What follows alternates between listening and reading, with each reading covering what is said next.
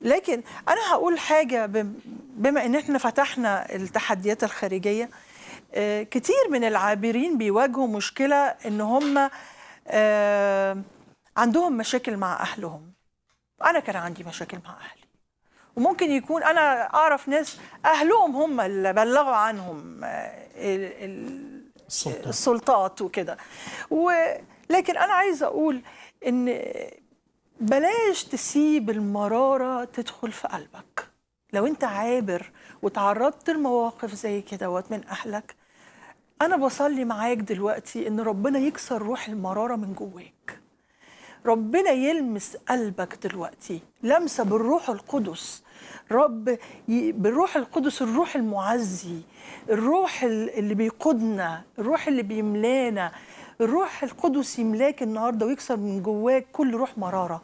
لأن المراره دهيت عم بتوقف العلاقة يعني بتبقى عاملة زي الرواسب. بتعيق العلاقة ما بيننا تدفق العلاقة ما بيننا وما بين الله. الغضب المختزن. يعني غضب وغضب وغضب عم نخزن في جوانا مثل البركان الثائر بيغلي من جوا عم بضر نفسه بقول لألا يطلع أصل مرارة فيتنجس الجسد كله لأنه المرارة إلها نتائج لابد أنه تظهر آه، نتائجها. وطبعا مثل ما ما ذكرت طبعا الشخص العابر يعني كل ما هنالك أنه اختبر المسيح والمسيح بشهادة كل الديانات وال- والكون كله والعلماء والأعداء لا مثيل له متفوق.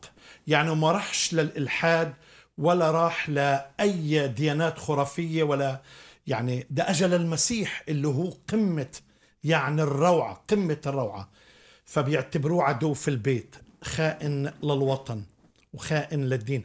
تعرف الشيء اللي لمسته كمان من خلال آه، معرفتي كتير من العابرين؟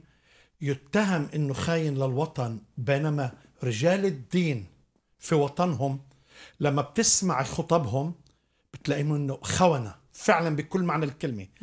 أنا بتكلم لأنه إحنا أجينا من عيلة وطنية. لكن السؤال إنه أنا بشوف أغلب العابرين بحبوا بلادهم بحبوا وطنهم بيصلوا لعائلاتهم عم بيغفروا عم بيسامحوا عم بيصلوا من أجل الحكومات والرئاسات.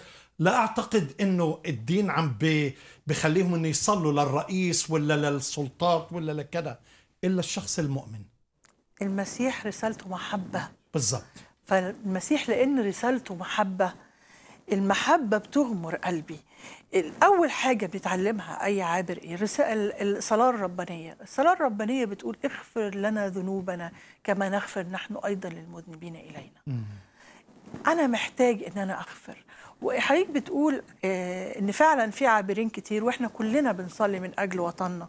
وأنا بصلي من أجل الشرق الأوسط كله مش وطني بس. لا لا وبحبوا وطنهم وإنه الأخطر والأصعب إنه لما يتهم الشخص اللي بحب وطنه خاين بينما الخونة اللي بالظبط. بيستخدموا بتاجروا ببيعوا الدين هؤلاء المرغوبين آه، يعني بالنسبة للوطن.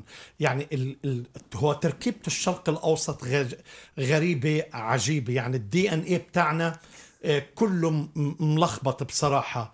ولكن يعني الناس اللي بتحب ترفض والناس اللي بتكره تقبل.